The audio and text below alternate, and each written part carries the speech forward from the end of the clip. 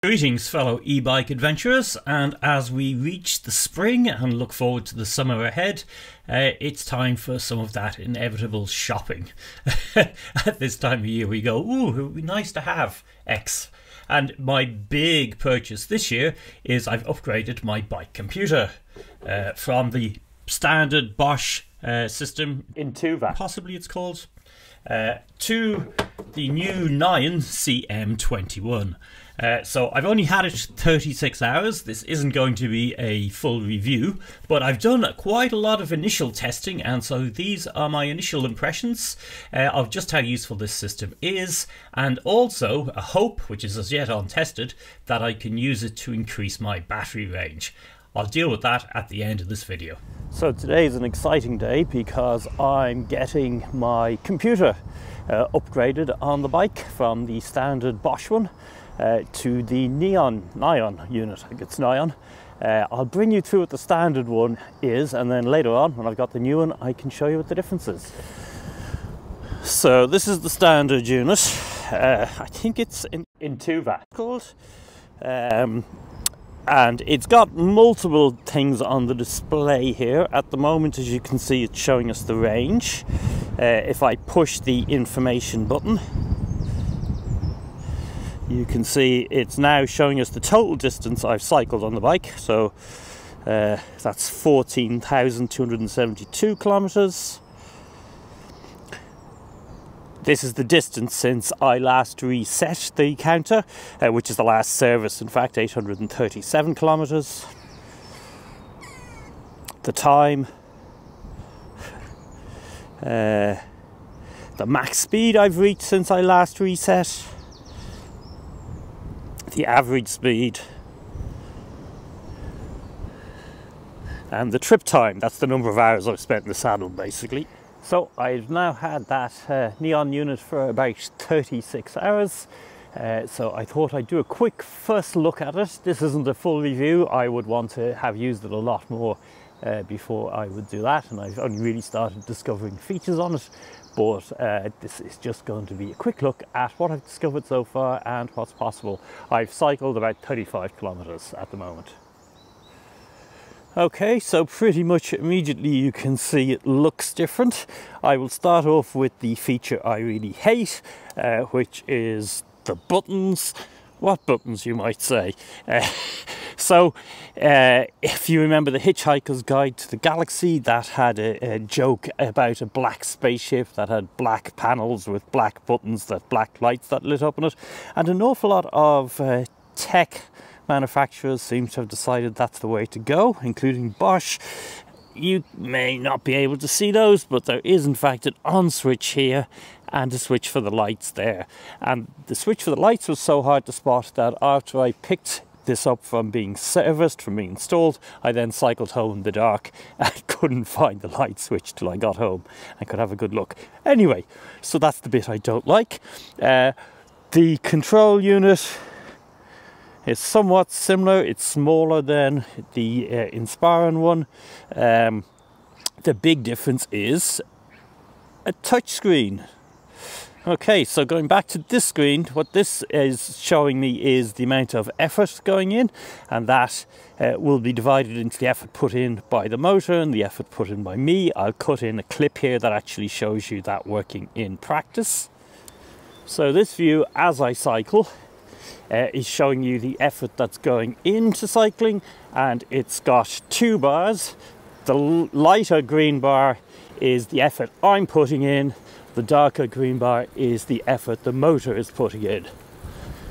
And as we come up here, if I yeah, so now I have turned up to tour mode, and in tour mode, you can see that the effort the motor is putting in is now bigger than the effort I was putting in. In sport mode, the effort the motor is putting in is much bigger, and in turbo mode, it's massively bigger. I never really use those two modes. Uh, I use tour towards the end of the day if I'm tired and I have battery capacity left, but I mostly try and stay in eco. Uh, it's got the estimate of the range and then the distance done on this trip. Uh, at the moment, it seems to be resetting the trip um, every time it's off for a while. The previous unit would keep a trip going until you reset it, and I would actually keep that going for many days at a time. That may be something I can fix in settings. Uh, we have the mode indicator up here telling me it's an eco. I haven't really got out of eco yet. Uh, okay, so you have the distance that I've done this morning, five kilometers, um, top speed, uh, my current altitude. Uh, and we have the map showing me where I am. That's kind of neat. Uh, that does turn by turn navigation as well. Um, and then we have the mode usage for this trip so far. So 100% of the time in eco, max speed of 30, ascent of 19 meters so far, 63% of the effort coming from me and 37% coming from the engine. Those are all great stats. These are the standard uh, ones and at first I was going oh I kind of wish there was more info and then I realized you can actually add your own additional windows which includes additional information not available elsewhere this is the first of these, so this is really cool. what this does is it's telling me how much I've saved, 2 euros 20, over if I was using a car.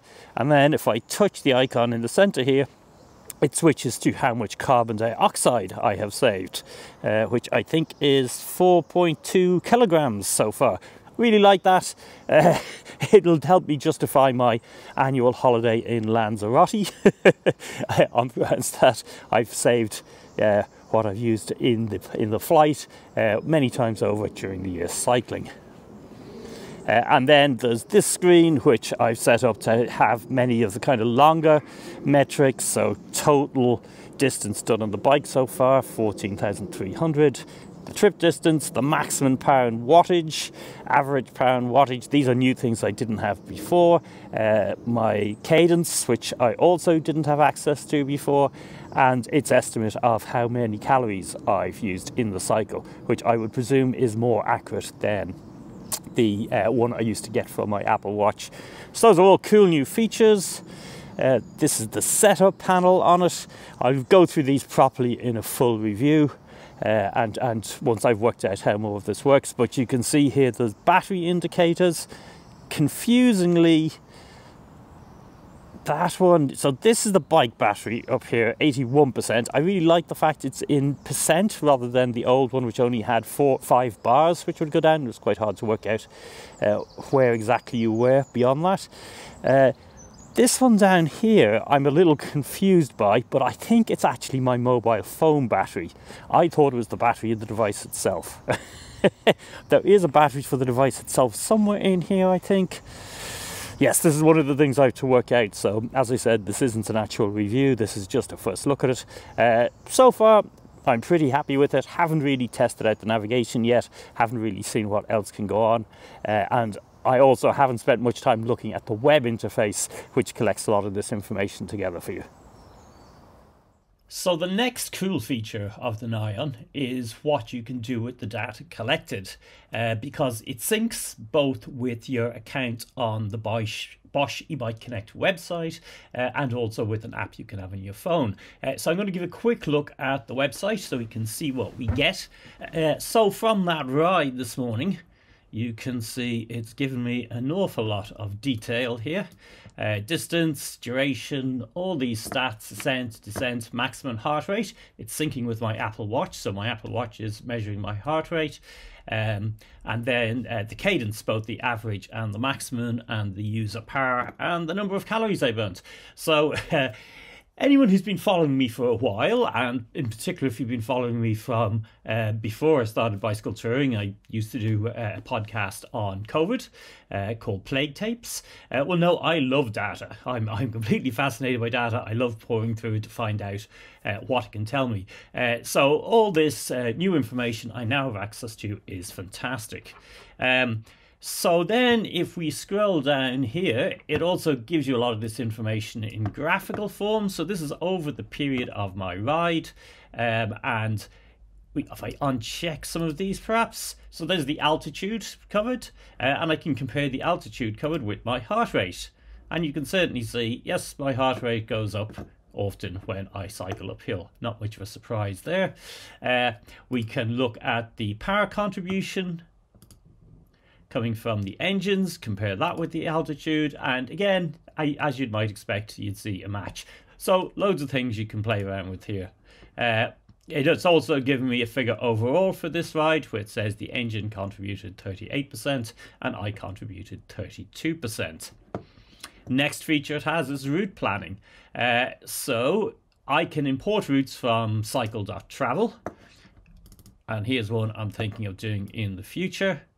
Uh, and yeah, so it's it, it's taken that route in from cycle.travel, put it on its own map, uh, and then when I cycle, I can be looking at the display and it will show me where I need to turn and all that. Uh, enormously useful. That means I can basically take my phone off the handlebars. Uh, I was using my phone for that sort of navigation.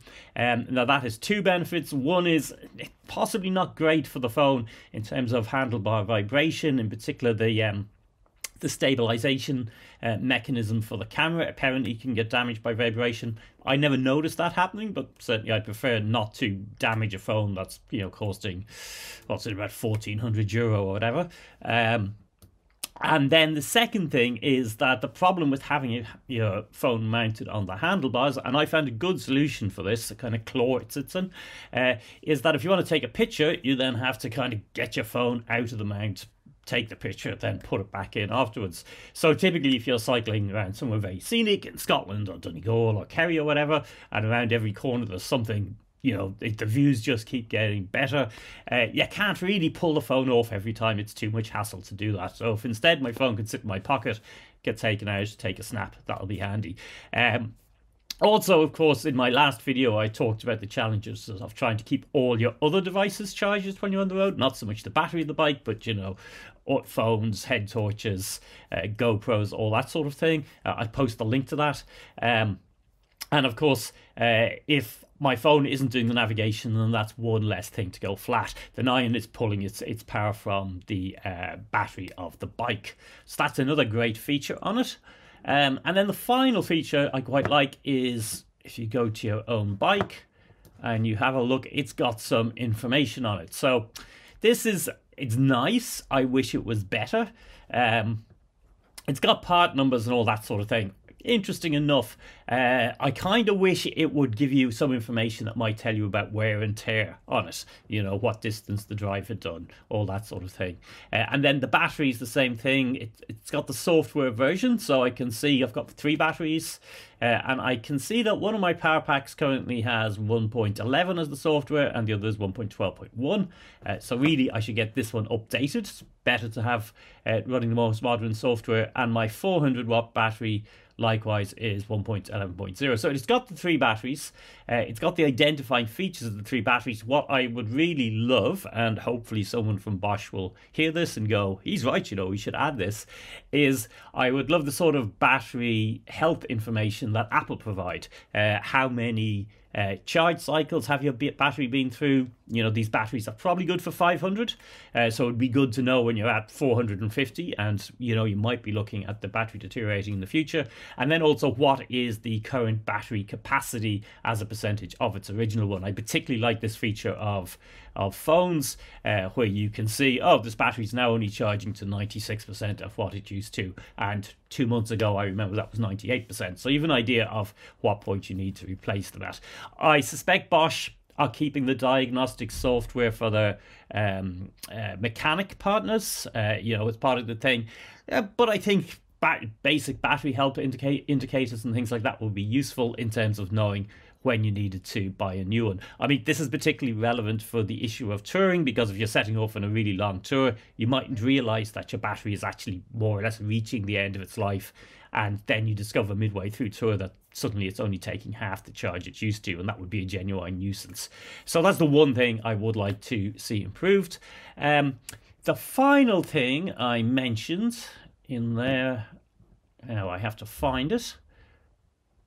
Ah, yes. So, custom riding modes. This is what I'm interested in in terms of can I use this to actually improve my battery range? Now, Bosch charge extra for unlocking this. You have to unlock it on the app. I think it's $4.99. It's not terribly expensive, but if we click edit here.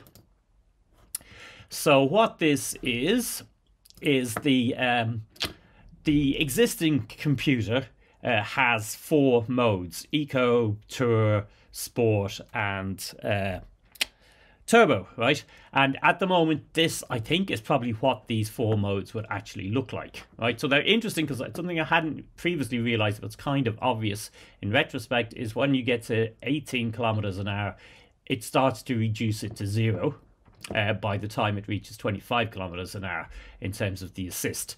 Uh, and that actually does make sense because it means that rather than feeling you're hitting a wall when you hit 25, it gradually scales down. And I sort of noticed that happening actually, uh, even in terms of the uh, readout on this uh, old unit, where it gives you uh, the, the the relative energy coming out of the engine. And you know, once you went over 20, you could see it was starting to tail off. Anyway, that's how this currently works. So what they now allow you to do is you can have up to four custom settings as well. And so what I'm thinking is this is the current eco setting where it's starting off at somewhere here it's starting off at about 60%, so maybe this isn't identical to the current ones. Uh, but say instead, I think the current eco setting is a 40% assist, right? So say instead I decided to set that up as a 20% assist. And what's more, set it up as a 20% assist, that would fall to only 10% uh, once you went over, what's that, about 14, 15 kilometers an hour. Uh, would tail off and then tail off to zero. Now, in theory, maybe that would increase my battery, uh, the range of the bike by doubling it or maybe 50%. Hard to know exactly.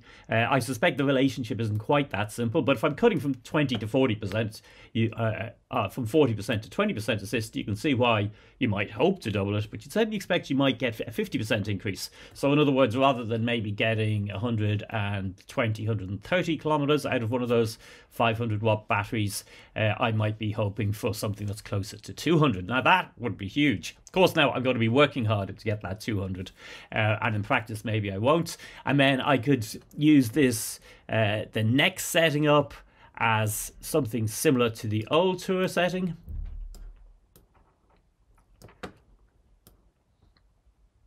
But again, less assistance as you go higher. Uh, I would leave the top one in place because the top one is, oh my god, I can't cycle up this hill anymore. I desperately need more power uh, on very steep hills, and that's the one you could actually turn that into. Although what you might do is pull the um, the, the last setting down a good bit, uh, so that once you're going above, you know, 15 kilometers an hour, that reduces. I hadn't previously noticed as it does actually allow you to pull the point of these cutoffs back and forth again as well. And then your third setting could be more like uh, it's the end of the day, I'm kind of tired. Uh, get me home a little bit faster. Um, so those three would all be a substantial power saving potentially on what your previous ones were, and uh, this top one is still in the absolutely desperate circumstances. It's still going to get you out. That I'm going to have to test. I'm really interested to see if that will work in practice and what it would feel like, uh, and uh, then I'll kind of uh, do a much more detailed review uh, when I've actually discovered these. As I said, only been using this maybe 36 hours so far. Um, I would not do what I'd consider to be a review after 36 hours. I definitely want really a couple of thousand kilometers maybe. So maybe I'm not going to do this till I get back from my trip to Spain. That will be my big test. But uh, I thought I'd mention it even at this early stage because obviously, if I'm right about this and that greatly increases battery range, that's a pretty transformative thing in opening up possibilities.